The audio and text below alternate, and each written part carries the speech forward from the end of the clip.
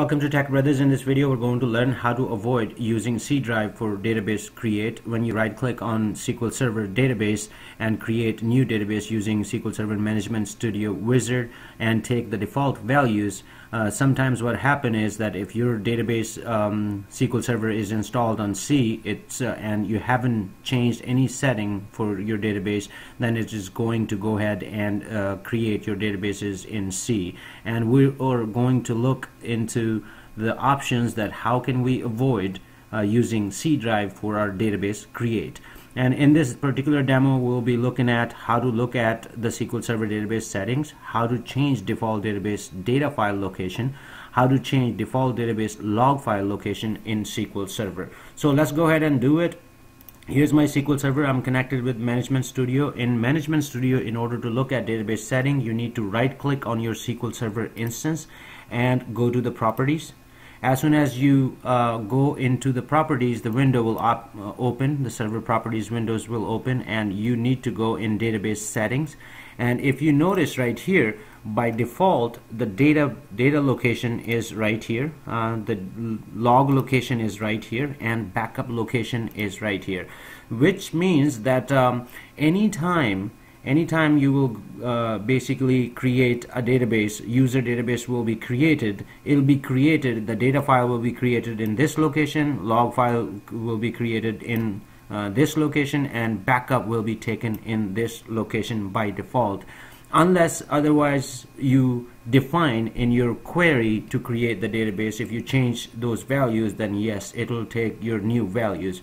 But if you take the default values these are the default database values so one of the trick that we could do in order to avoid C drive right here, we can change the SQL Server instance database settings and make it this one maybe D and this one L for log and this one F for backup so we can change these location right here. As soon as we'll change that anytime the new user database created with the default values it will not be created in C drive unless uh, otherwise specified explicitly so um, I don't have any D, L or F drive really. I'm just going to uh, create a demo for you uh, and I, I, have created another folder right in C so please uh, uh don't don't think that uh, um, this particular demo is about uh, avoiding C and we're still using C.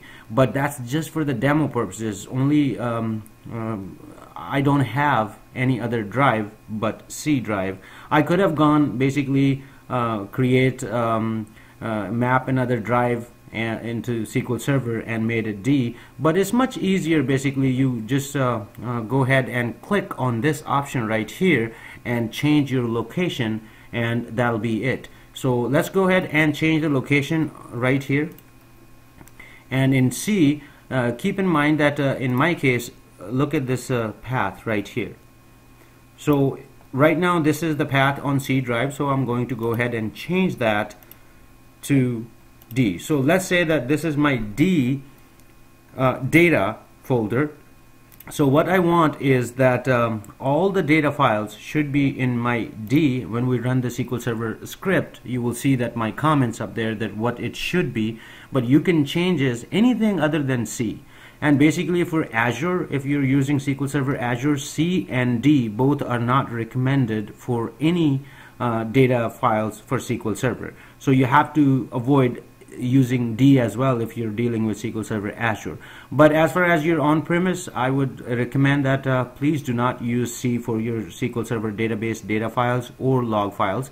So I'm going to just give you a demo. Let's say that this is D uh, data and this is my uh, log file L log. So I'm going to go ahead and provide that.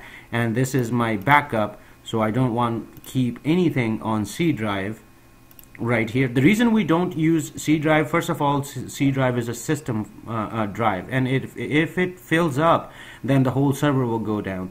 Uh, and also that if if whole server will go down, it's much difficult to clear all that and bring the SQL server will go down as well, and you don't have the the backup really. Um, a lot of disaster can happen if you use C drive.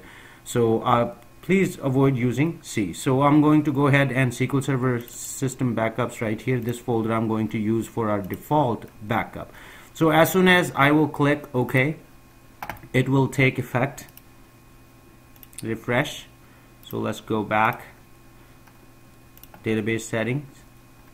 Right here it took backup setting and let's go ahead and restart our SQL Server services.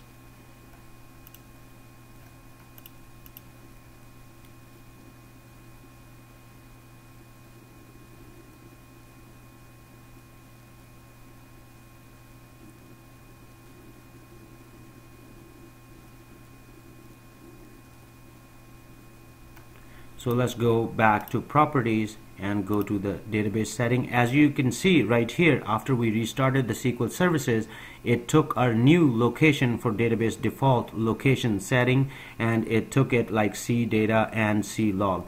So I apologize I, I, I didn't really mean to say that uh, it will take effect right away. You do have to restart your SQL services in order to take the new location in uh, but um, what I meant was that uh, as soon as you will click OK, it's there in the system waiting for you to uh, restart the SQL services. Once the SQL services restarted, then as you can see that all everything came up. So um, let's go ahead and cancel this, and I'm going to go ahead and create a new database called demo database, and I am going to keep everything default. So if you look at it, right here the default path is now C data. So in your case it would be D data and L data or whatever the drive other than C that you will provide. So you're gonna go ahead and click OK and you will not be using C drive anymore.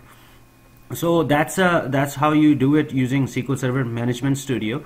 So let's go ahead and uh, change it back to um, the location, the previous location, so that we can use our SQL uh, uh, script.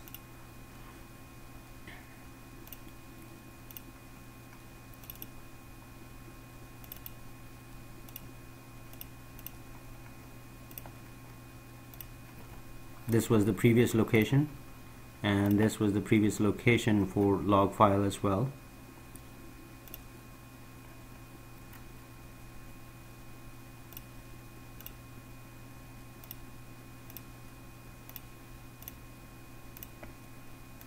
uh, we, we won't care about uh, backup. Uh, backup is you know you can we don't have to give backup right now here.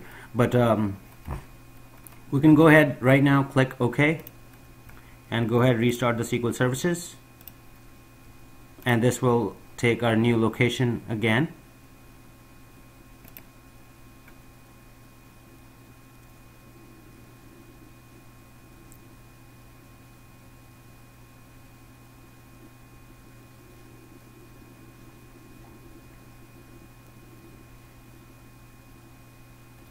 alright let's refresh this.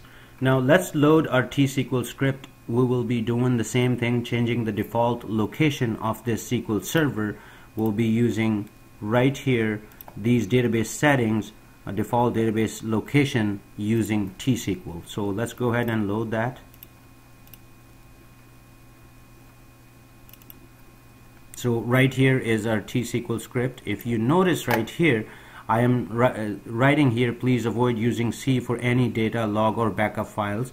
And with everything right here I'm saying that it should be D data should be your new drive. Uh, I am not imposing that D should be your data drive but other than C um, and if it comes to SQL Server Azure then you need to uh, avoid D as well but um, other than C on premise you can use any drive for your uh, uh, data. And log and data drives should be on different uh, um, drives anyway. And backup you can put it on a slow uh, disks as well. So let's go ahead and run this.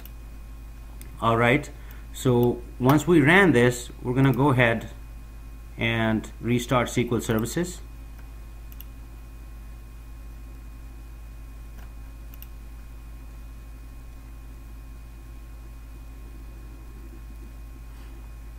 and after the SQL services comes up we're gonna go ahead um, and look at our default location if our T-SQL script has changed that default location. Let's refresh this. Let's go back to the properties.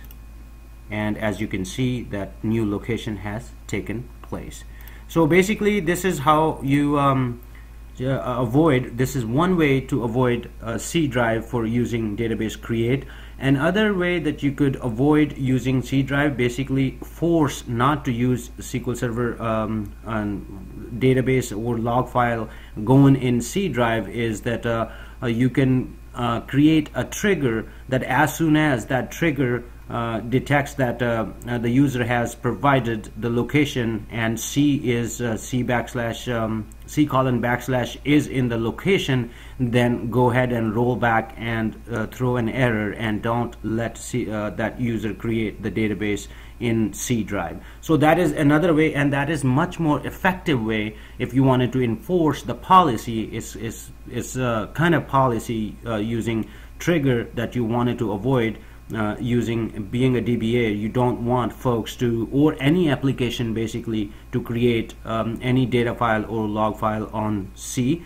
Uh, but this is uh, this is if uh, SQL Server um, if application is installing and they're using SQL Server default values then it is going to basically go ahead and avoid uh, C drive based on your database SQL Server database settings. And I hope this video helps